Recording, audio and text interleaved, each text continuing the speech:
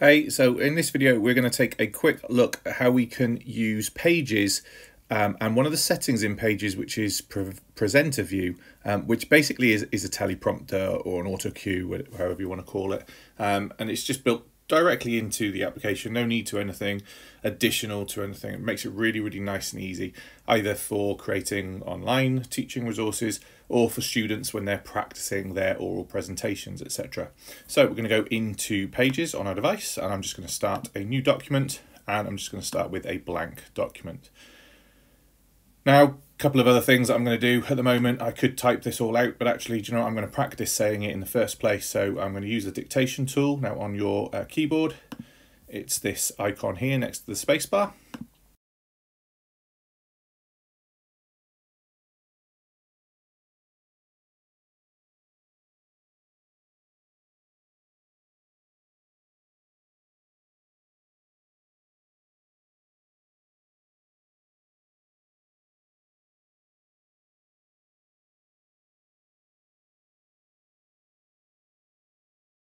Another function within Pages using the dictation tool equally can support that whole idea of how to create your scripts for anything that you're doing. Now, in order to add in the teleprompt function, we've got our text on the page. I'm just going to go to the three dots at the top here and come down to here to presenter mode. And you'll see that this instantly turns all of that text nice and big on the screen so that I can have this flow through. Now, there are additional settings here.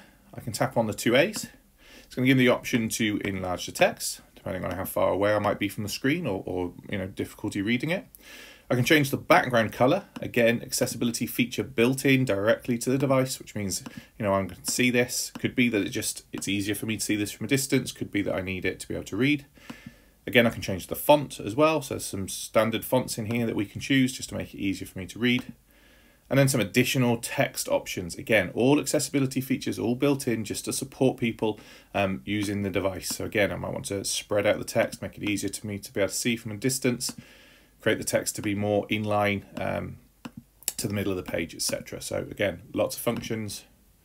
And then finally this one here, auto scroll. Now this is the, the, the key one really because having this on, and again, I can change the speed that this scrolls and down the bottom is really, really nice. You can see how many words per minute. So I'm just going to set it to probably about halfway. Makes it sensible for me. And then all I'll do is tap play and it's going to play that through for me. So welcome to this session on how to use the teleprompter function on Pages. This is a great way to help practice your oral presentations and to keep a good pace for sharing delivery. Have a go yourself and see how easy it is. Now, obviously, I probably should have checked the text before I started that, um, but you just go back in and just add your text, add anything, um, and change any of those things. So whilst I'm here, I'm going to change this from saying sharing to sharing. Um, and this was all presentations. There we go. So just to, just in case anybody's thinking that you know the, the text was wrong, create that, have a go. Re again, like I said, really good workflow there. Orally present it in the first place using the dictation tool, and then use the teleprompt function to be able to practice saying it back in your own time. Really good way to develop those skills.